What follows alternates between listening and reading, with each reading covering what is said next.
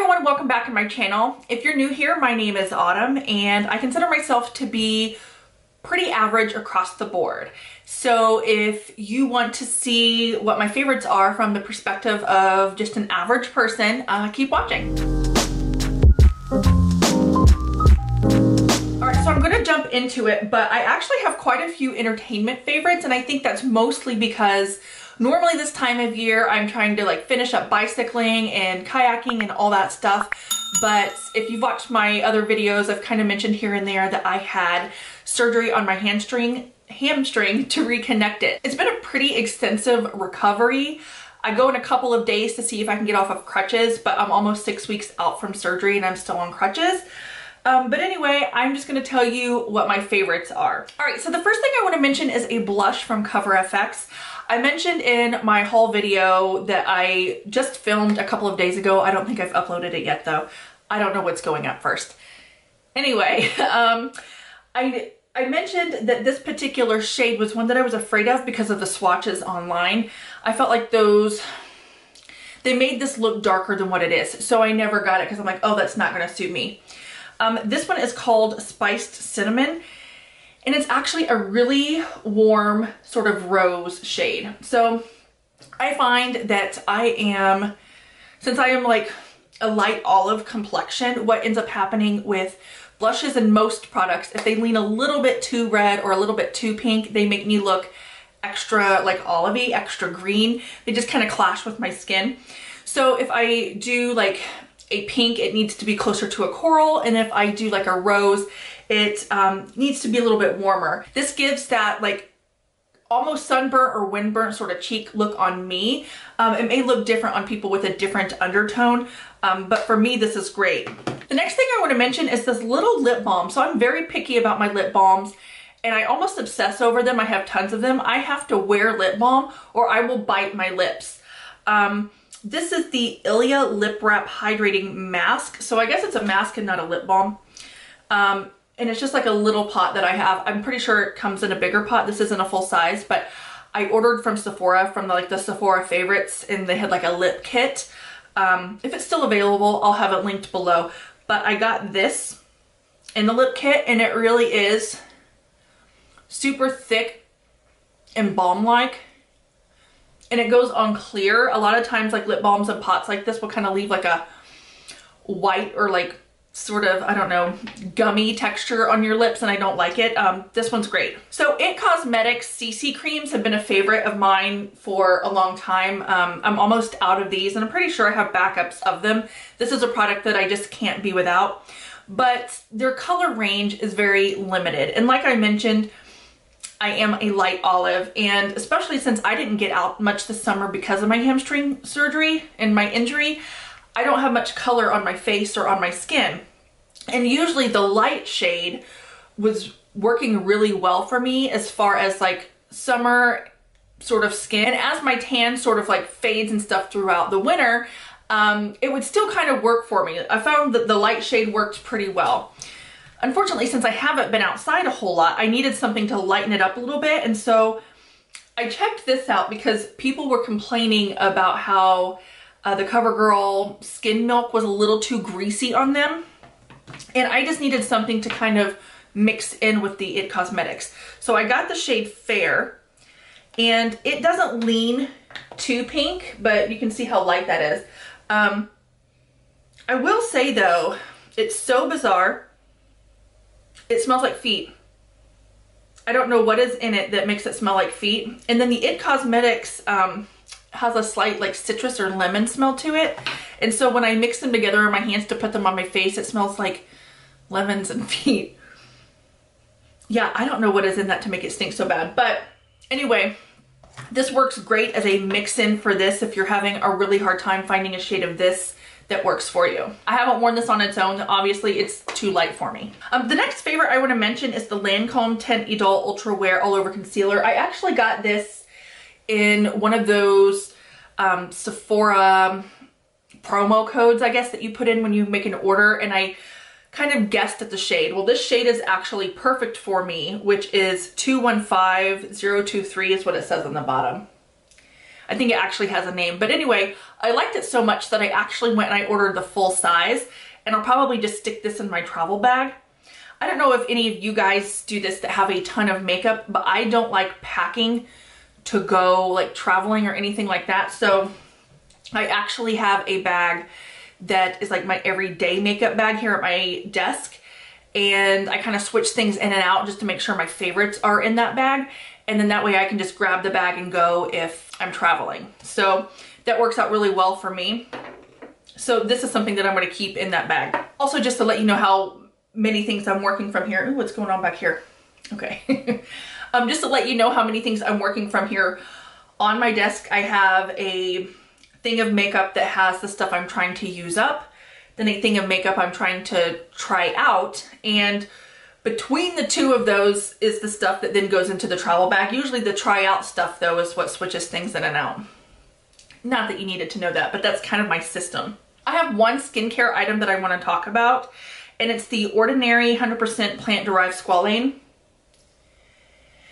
And I've mentioned it in a couple of videos again, I don't know what I'm posting first, but about a month and a half ago, I got perioral dermatitis around my mouth and my nose.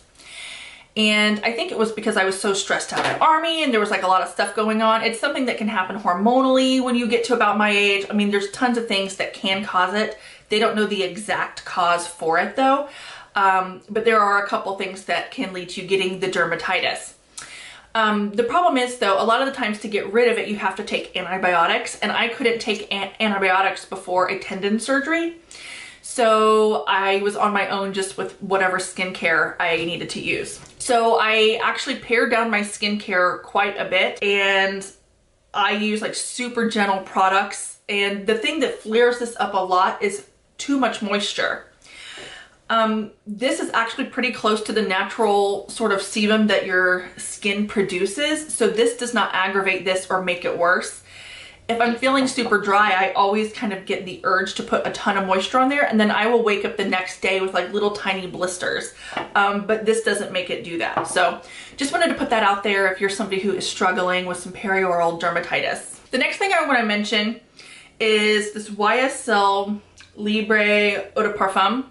So there's three iterations of this through YSL. They have the Eau de Toilette, they have the Eau de Parfum, and then they have the, I think it's just the Intense Parfum or Eau de Parfum. And they all smell a little bit different. My favorite one though is just the regular Eau de Parfum. And I actually found that I liked it first through Dossier. I did a Dossier video, which again, I'll have linked right here for you. I did that Dossier video and I'm like, I really like this smell. And the perfume itself isn't that expensive and I order quite a bit from Ulta. That's like where I get my staples, like my skincare staples, um, hair care, all that stuff comes from Ulta. So I amass points really quickly there and I will treat myself to a perfume every time I get points there. That's kind of how I've been like doing my points lately. It's almost time for me to get another perfume too, so I'm super excited. But Anyway, um, I ended up getting this with my points and I absolutely love it. The Dossier one is great too. It's a little bit sweeter. I find that all of the Dossier fragrances tend to go a little bit sweeter and maybe a little bit heavier on the top notes as opposed to putting um, their focus into the dry down and the base notes. That's the big thing that I find with Dossier fragrances. But their version of that is really close. It's just a little bit sweeter. So anyway, this has been a favorite. It just makes me smell or makes me feel like I'm luxury. Um, which I think everybody wants to feel like they're luxury, but that's been great. It's it's a lavender based perfume, which again, lavender typically might lean a little bit masculine, but I don't feel like it does with this. It just feels luxury to me. Mm. All right, so now something that's a little bit like not as luxury, and it's this O'Keeffe's Healthy Feet Night Treatment Foot Cream. So without going too into it, um, when I came out of army, like my summer of army, my feet were torn up. And it is every single year my feet um, they get contact dermatitis from being hot in the boots. Again same little blisters and things like that. And then when the blisters go away my foot peels um, and it's super nasty. So then my foot looks awful. And I've tried like filing it down and everything and then it just, my foot just always looks flaky and gross. I started using this and I saw immediate like differences um, in my feet. It, it doesn't take a huge amount. Yeah, just to start with a small amount. It doesn't take a huge amount and my feet did not look as peeled and as nasty as they did before. So this is like super inexpensive. I highly recommend it. Okay, next thing is a hair thing in which I'm gonna like use a little bit now because my hair is looking a little bit wild. Um, here's the thing, I straightened my hair yesterday and then I think I got it a little bit damp when I was washing my face last night so it doesn't look straight now. It looked so much better yesterday. Um, but I will put this in my hair for a little bit of texture. And by the way, this is Joico's Hair Shake. And it's it's a liquid to powder um, texturizer, but it's just like a sea salt sort of spray. Um, and it just adds body and texture to the hair. Like, but normally when I use this, I put my hair I do like a beach wave with the straightener on my hair. Oh, I might have sprayed a little too much. Yeah, now my hair looks wet. Um, so I will do like a beach wave with my hair and then I will spray that in.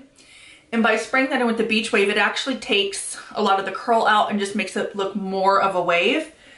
Um, and then it gives it really good texture. Uh, it's not good. It, it doesn't look good. And I find that the texture is also great if you want to put your hair in an updo and you don't want it to kind of like slip out or anything. It's really great for that.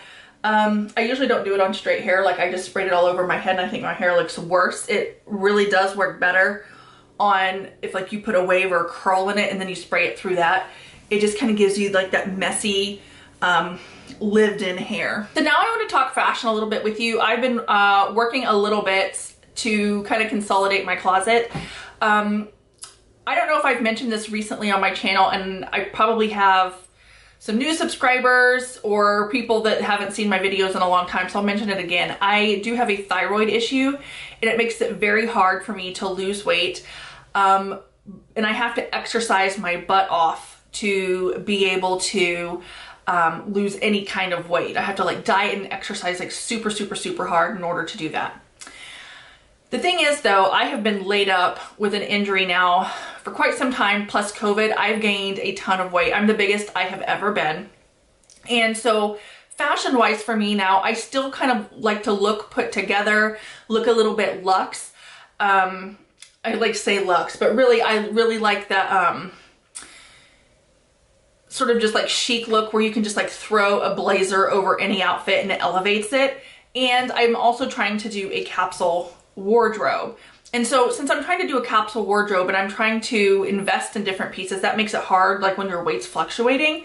So I usually buy pieces that will look good if they're oversized on me later, if that makes sense. So one thing that's been super comfy after my surgery, because I didn't just like want to go around everywhere in sweatpants, has been these sweatshirts that I got from Target. And I think it's the neckline that just kind of makes it look a little bit more chic and a little bit more elevated. These are by A New Day um, and they are called, what's it called? I don't know if it actually has an like a, um, like a real name on it, but I will leave these linked below. And there are also like these ankle length slacks that have like a line down the front that also kind of feel like elevated sweatpants and I've been wearing those a ton. I have them on right now where I would show you, I would stand up and show you. Um, but they're awesome. So again, I'll have those linked as well. So another thing is I have been trying to watch my weight while I am pretty much laid up and I cannot move. And one of the things that I struggle with is kind of a sweet tooth. So I started using this protein shake and making um, milkshakes with it. The cool thing about this protein shake though is it gets really thick like a milkshake. So usually what I do is I'll either use a frozen banana and add a little bit of like almond milk and then blend it up in my blender or I will just use straight up ice cubes with some almond milk and blend it in my blender if I don't want that banana sort of taste. And it's 170 calories. This one has caffeine. I have one that's like a peanut butter cup flavored that has no caffeine in it and um, it has tons of like vitamins and nutrients and this is the most delicious protein shake I have ever had hands down. You can get this at GNC so again I'll have it linked for you. Um, they have tons of flavors. They have strawberry which I've used that as well. absolute best protein shake ever. They're delicious. Then also speaking of food, these. I got them at Costco and I had never heard of them before. Maybe I'm just like in the dark when it comes to fruit. But these are called apple pears. They're like the shape of an apple, but it's a pear. The cool thing about it is sometimes if you get like regular pears, they're a little bit kind of mealy when you go to bite into them and eat them. And the cool thing about these is they're super crisp like an apple. It's got a little bit of that pear texture, but it's definitely like a pear taste. Um, and these are like my favorite thing right now. They're like super crisp and yummy. Um, I cut mine up and eat it. I'm sure you could just like eat it like an apple, but I like to cut mine up. All right, so we are already into the entertainment thing and I have been aimlessly scrolling through TikToks again because I've been laid up and I've been watching this lady on TikTok. I've watched all of her videos where she talks about perfumes. And, and originally the reason I really got into perfumes and really like the stories that they had to tell and fell into all of that stuff is because there was a YouTube creator here called Katie Puckrik and she always had the best perfume recommendations. I'll leave her linked below if you want to check her out. Her old videos are all still up. She just doesn't make any now. Well, this new lady, I found her on TikTok. She apparently has a YouTube channel as well, but it's not dedicated to fragrance. It's dedicated to other stuff. But if you have a TikTok, check her out. Um, her handle is Crusty Old Mummy. Like, oh, kind of Look at my phone, it's about to die. Um, I'll have her information down below, but her videos are so well done. Like when she talks about a fragrance, it's like, it's poetic in a way, just the way she talks about the fragrance. I absolutely love her videos. Um, so yeah, I'll leave her YouTube linked below and all that stuff, but my favorite thing though from her is actually just the fragrance videos. So I'm a big podcast person. I like to listen to podcasts like while I'm walking, while I'm doing housework, that sort of thing. Also while I'm putting my makeup on, I love listening to them. But anyway, there's one that I've been listening to recently and it's called Something Was Wrong. And I just finished up, I think the current season where they were talking about this guy who was pretending to be a doctor. Um, I don't want to give too much away, but like he wasn't, he was scamming a bunch of people and he started to threaten them when they would get on his case. It was wild.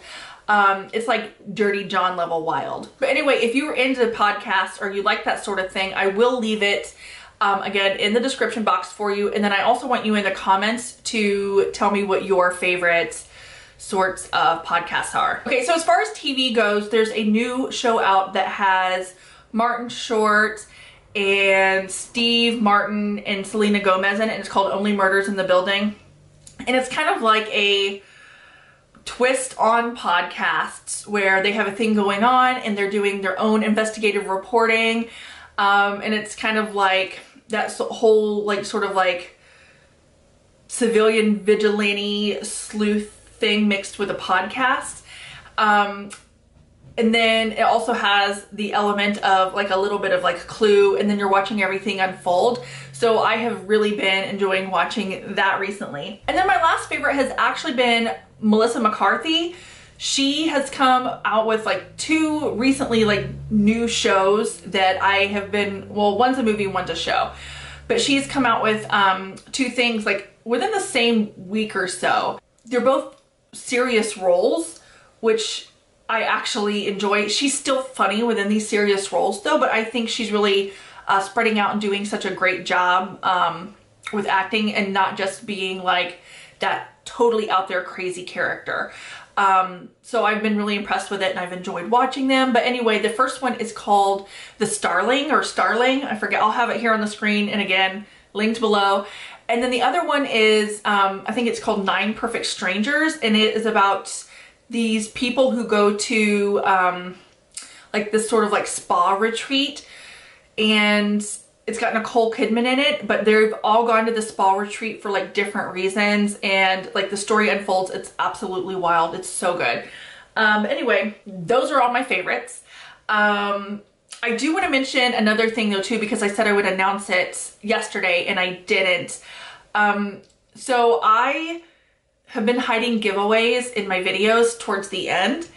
And so the person who won my dossier uh, fragrance video giveaway is the only person who actually made it to the end and commented, um, which is just, it's good to me to let me know that like I'm obviously not as engaging as I think I am, which I don't think I'm engaging, let's be honest. But it's good to let me know like how much video people can actually stand. That was a long video. Um, I did put chapters in it, but they didn't make it to the end. But the winner of the dossier is Margot Whitlock. So she didn't have Instagram and that's how I had planned on contacting people. Um, so since, since she didn't have Instagram, Margot, if you were watching this, I need you to look in the description box and find my email and email me your information so that I can send you the perfume. Um, anyway, I hope you guys enjoyed watching this and I will talk to y'all soon. Bye.